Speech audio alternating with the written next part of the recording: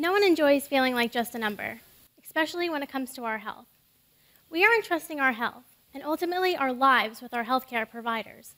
So it would be nice to know that when it comes to our healthcare, we're not just a name on a chart. Personalized medicine is a medical model that focuses on developing customized decision making and treatment options that are tailored for a patient's individual needs. Along with this concept of personalized medicine is a model known as the Patient Centered Medical Home, or PCMH. The Patient Centered Medical Home is a form of proactive health care that allows for a better, preventative, point of care approach for diagnosis and treatment. The patient centered medical home can also be seen as a healthcare model that fosters the development of relationships and partnerships between patients, physicians, and members of a personalized care team. In this model, a primary care physician acts as the leader of a care team. It is the physician's role to interact with the patient on a one on one basis to get to know them personally, and also interact with members of the care team to promote a coordinated care approach between the care team members. So, why is it important to have a physician that knows and understands the patient as a person? Well, this patient physician relationship is important, for the, is important for the patient because the patient will see the physician working for their emotional well being in, in addition to their physical well being. This will improve patient satisfaction. Additionally, the patient will see the physician as trying to work with them towards healthcare goals, as opposed to dictating to them what they need to do to change their health. Also, consider this who knows you better than yourself? No one. So when you go to your doctor's office, you're bringing this exclusive knowledge of your health and body along with you. You're bringing this knowledge maybe of what medications or treatments work or don't work for you. You're essentially telling the story of your health and body to your doctor.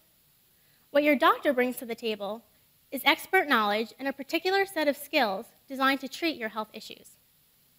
Combining this patient and physician knowledge will allow the physician to create a more organized patient profile that extends beyond the physical. Additionally, getting to know your personal medical history and life circumstances will allow the physician to treat the patient as a whole person.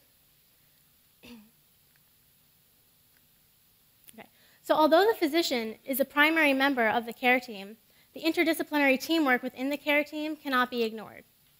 The care team can consist of nurses, pharmacists, specialists, and even individuals to answer any questions regarding medication or insurance coverage costs. Your care team is flexible and can change as your healthcare needs change over time to ensure that you're always receiving the proper care at the proper time. An example of how information may be relayed throughout the care team could go something like this. I woke up and I wasn't feeling too well. My sinuses are acting up and I have a sore throat. So I call my doctor's office to make an appointment. I go to the office. Knowing that I have a chronic history of sore throats, my doctor communicates to my pharmacist to prescribe my usual set of medications.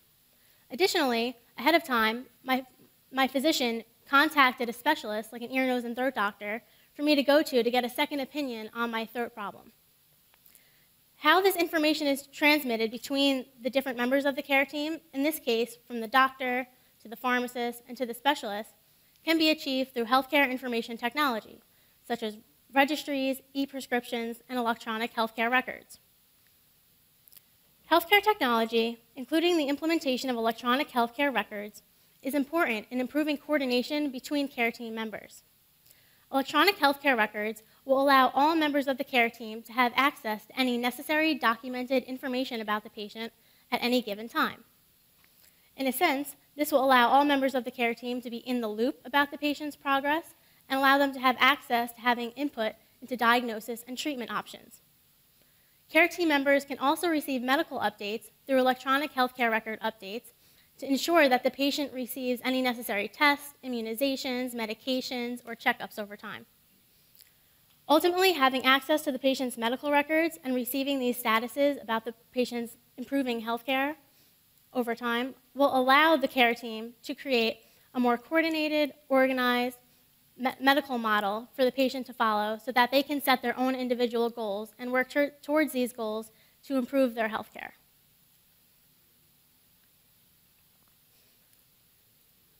So why is this important? Healthcare technology, healthcare is an increasingly expensive industry. Both providers and consumers are looking for ways to cut costs. In this sense, electronic medical records can be a great way for cutting costs to happen. Because if a patient doesn't have to keep going over the same information over and over again with different care team members or undergo repeated tests over and over again, this will save time, money, and valuable resources for members of the care team. An ideology that I like to live by is that it is important to focus on caring for those that have preceded us and for those that will follow us. In this sense, I'm talking about, in the healthcare sense, I'm, I'm mentioning that it's important that future generations don't inherit a slew of healthcare problems.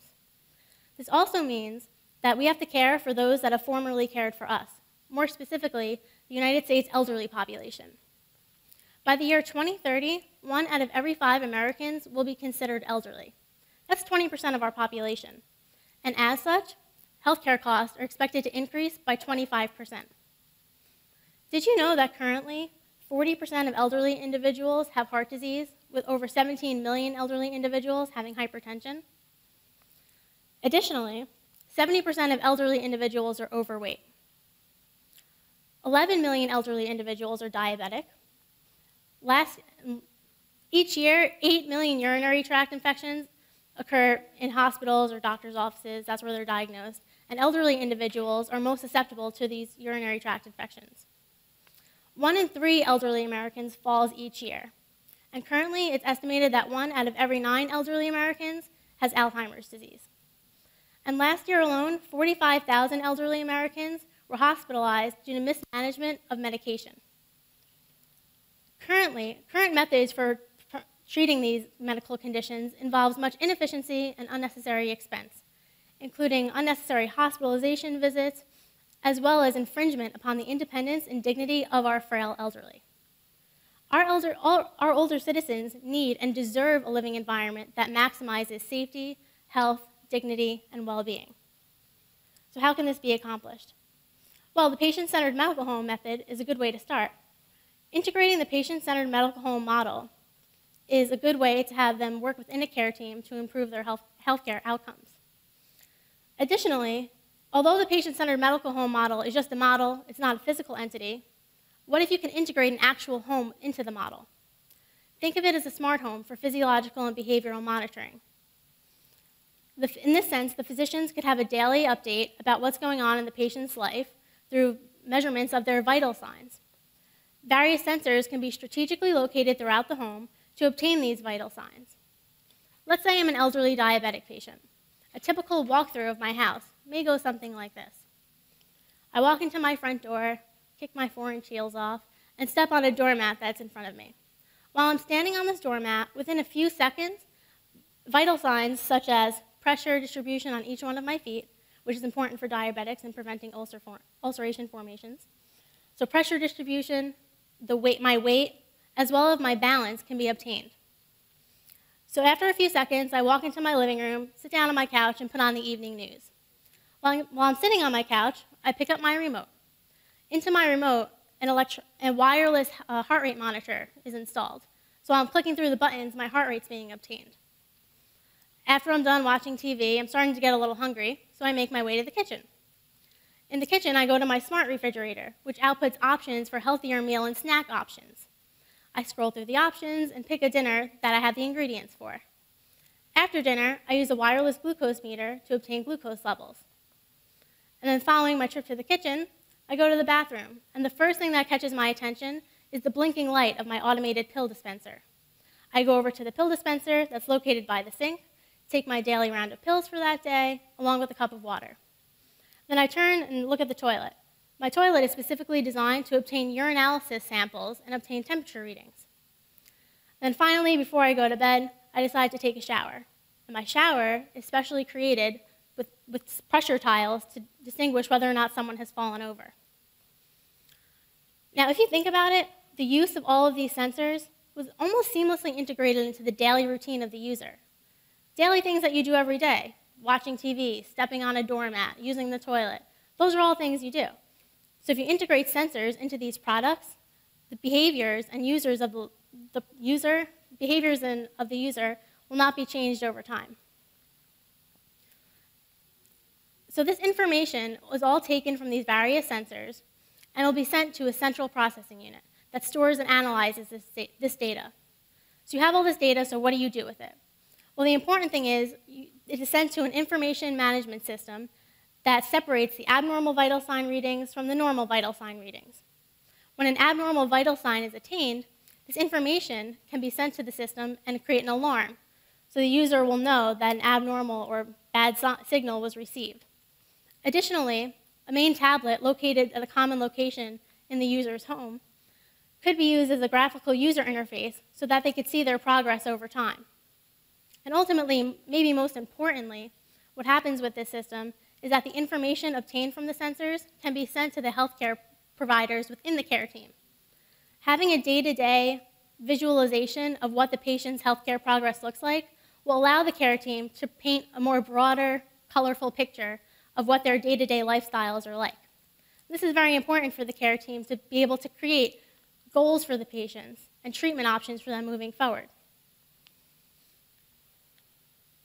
So I've touched upon the importance of the connections between the physician and the patient, between the physician and care team members, and between care team members and information technology.